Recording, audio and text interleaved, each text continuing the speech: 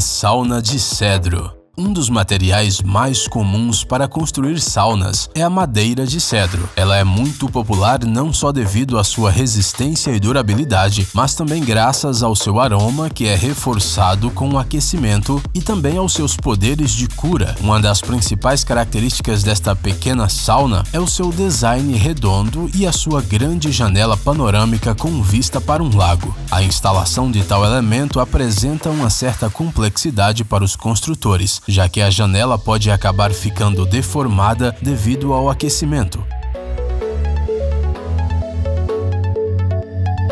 Além disso, a precisão nos cálculos do projeto é muito importante para que seja possível evitar o ajuste adicional das placas circulares. A fim de fortalecer a resistência da sauna e evitar o seu ressecamento, foram usados grampos de metal, semelhantes aos dos barris de madeira.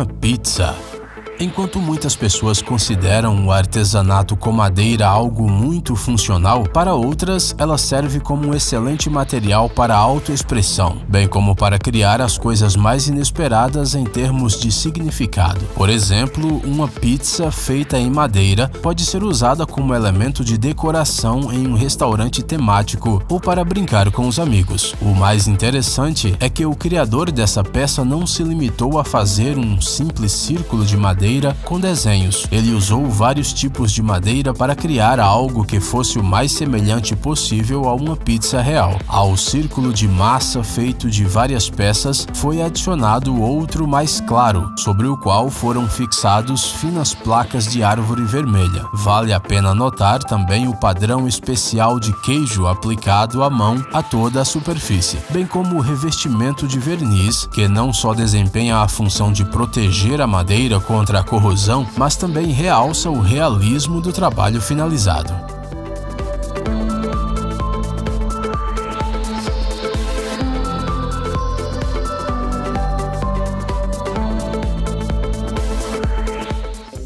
Um martelo para criar este martelo foram usados dois tipos de madeira, nogueira preta e freixo. Para aumentar o peso da ferramenta, cavidades redondas simétricas foram feitas nas placas de madeira, fixadas com cola e elementos metálicos. Após a preparação, cerca de 680 gramas de metal fundido foram derramados nos orifícios através de um dispensador especial. Dessa forma, foi possível aumentar significativamente o peso do martelo sem que fosse necessário adicionar pesos externos, que possivelmente interfeririam no trabalho da ferramenta. Outro detalhe importante é que o cabo de madeira já polido foi encaixado ao próprio martelo com a ajuda de uma cola especial concentrada. Apesar da ausência quase total de pregos e outros elementos de fixação que costumam garantir a durabilidade da ferramenta, a resistência desse martelo é garantida pela compressão da madeira com grampos especiais.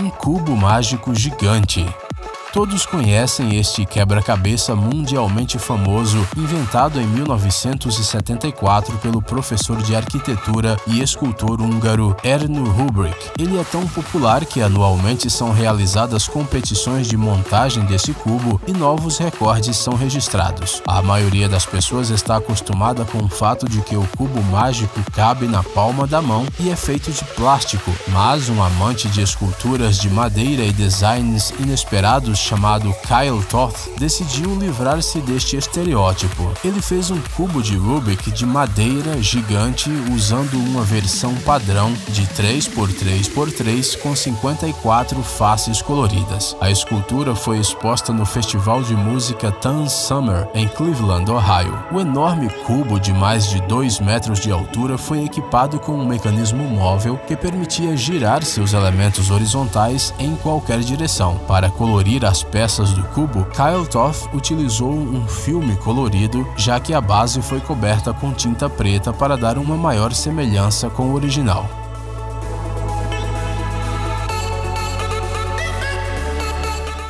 Uma garrafa de vinho Outra criação de Kyle Toth é uma garrafa de vinho montada com numerosos segmentos de madeira e esculpida em um torno. Como base foram utilizados fragmentos das madeiras pau-rosa e ébano. Segundo o seu criador, esta é a 14ª garrafa que ele faz nos últimos seis anos. Sua altura é de 30 centímetros e meio e a circunferência é de pouco mais de 7,5 centímetros. Como a garrafa é montada a partir de segmentos separados, e não é revestida com nenhum material que impeça a passagem de água, ela não pode ser usada para armazenar líquidos, embora tenha sido feita com base a um modelo real. Este item pode ser usado como um elemento de decoração, como por exemplo um vaso para flores artificiais.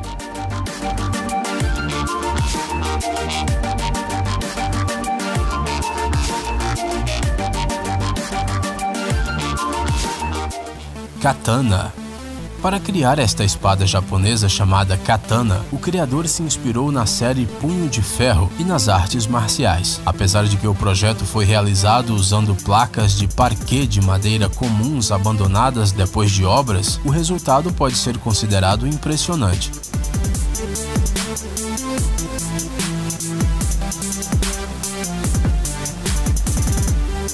Primeiro, com a ajuda de medições online e uma serra de fita, foi feita uma preparação aproximada da futura espada. Segundo o criador, foi muito importante não esquecer de deixar espaço para a parte inferior da futura arma de madeira para encaixar o cabo. Após a criação da lâmina, chegou a hora de criar um tsuba, uma placa oval que serve como guarda nas armas japonesas. Para fazer isso, um pequeno pedaço de madeira de teca foi usado e cortado na forma forma apropriada. Para não usar qualquer material que não fosse madeira, o criador dessa katana decidiu fazer à mão o padrão que é característico dos cabos dessas espadas japonesas e depois combinar manualmente os detalhes de diferentes tipos de madeira. E embora esse processo tenha sido longo, ele conseguiu fazer algo muito similar aos cordões de seda com qual são decoradas as verdadeiras espadas samurais. No estágio final, todas as partes da espada foram reunidas. Um tsuba foi colocado na lâmina e o cabo foi fixado à espada.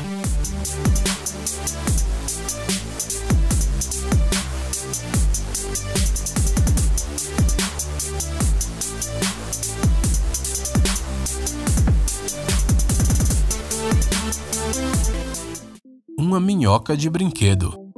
Este brinquedo mecânico de madeira na forma de uma minhoquinha de desenho animado consiste em vários segmentos idênticos, feitos a partir de um pedaço de madeira homogêneo.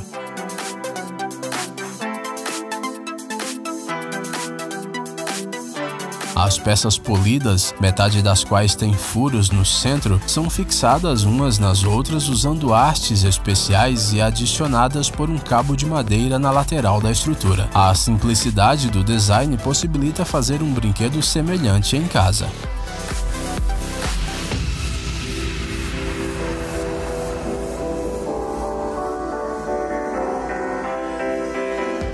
Uma cadeira Chase Long Hoje em dia, os móveis de madeira perderam muito da sua popularidade, porém adquiriram o status de elemento de luxo. Além disso, eles atraem artistas e amantes do trabalho manual, já que uma poltrona ou cadeira de madeira podem ser feitas à mão, isso sem falar do lado ecológico.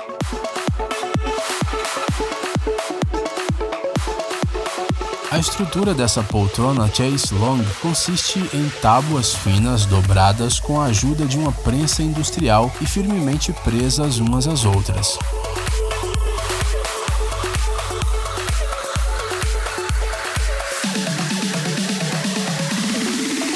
Esta tecnologia antiga que utiliza altas temperaturas permite moldar praticamente qualquer placa na forma desejada, sem danificar a madeira. Uma madeira compensada de 18 mm foi usada para fazer as barras transversais da cadeira. O material foi cortado usando um robô CNC e fixado à estrutura com dois parafusos. A fragilidade desta cadeira é apenas visual, na verdade, já que esta peça de imobiliário pode suportar um peso de até 100 quilos.